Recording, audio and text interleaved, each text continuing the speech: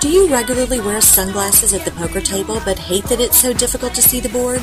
Does it make your eyes tired, watery, and give you headaches? Then put those dark sunglasses aside because Blue Shark Optics Poker Eyewear is for you.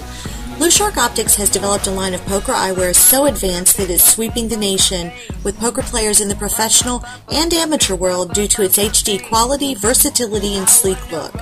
With a large variety of styles from the Jonathan Little series to an aviator style inspired by Hoyt Corkins to the Tiger Sharks with a built-in MP3 player, the Crystallion 3 technology is ideal for indoor use and more specifically poker.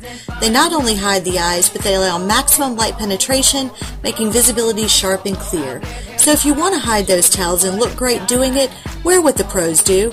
Blue Shark Optics, the official eyewear of Hog Wild Poker Leagues, High Heels Poker Tour, On Tilt Radio, and the acclaimed World Series of Poker.